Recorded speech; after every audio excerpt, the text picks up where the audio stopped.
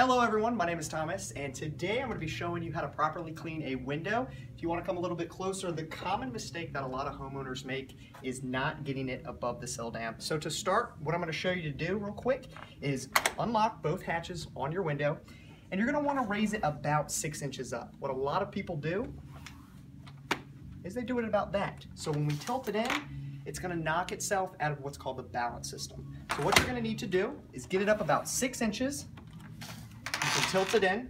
And actually the proper way to clean a window is to take a damp paper towel, wipe it off, and you can either use the reverse side or another paper towel and actually dry it.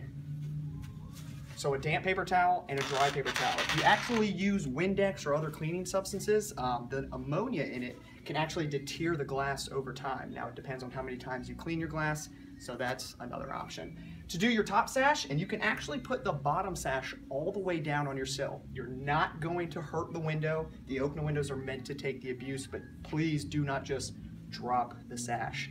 To do your top sash, you can bring it down once again, probably six to eight inches. You'll take the two tabs on top, do the same thing again. Damp paper towel, and then once again a dry paper towel. Come up, shut the window. You're gonna wanna shut it with a little bit of force to make sure that it gets back in the track system.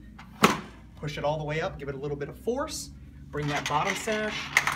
Once again, shut it with just a little bit of force to make sure that it gets back in the track. Shut it all the way down and lock both latches.